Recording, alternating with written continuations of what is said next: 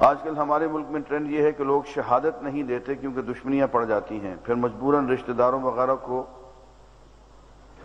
Twitter کر کے شہادت دلوائی جاتی ہے اور وہ حلف اٹھا کر کہتے ہیں کہ میں نے یہ دیکھا اور وہ میں نے یہ دیکھا۔ اگر واقعی ایک شخص نے جرم کیا ہے اور کوئی بھی شہادت دینے کے لیے تیار نہیں ہے، اس کے باوجود کہ بہت سے لوگوں نے اسے دیکھا کہ ایسے شخص کے لیے جھوٹی شہادت پیش کرنا جائز ہے یا نہیں۔ جھوٹی شہادت تو کسی شکل میں بھی جائز نہیں ہے وہ تو بہرحال قول زور ہے، حرام ہے، لیکن سچی شہادت کو چھپا لینا بھی حرام ہے اور ناجائز نہیں ہے۔ وہ اپنی جگہ پہ ایک ظلم ہے۔ اگر سچی شہادت گواہی چھپا لینے کی وجہ سے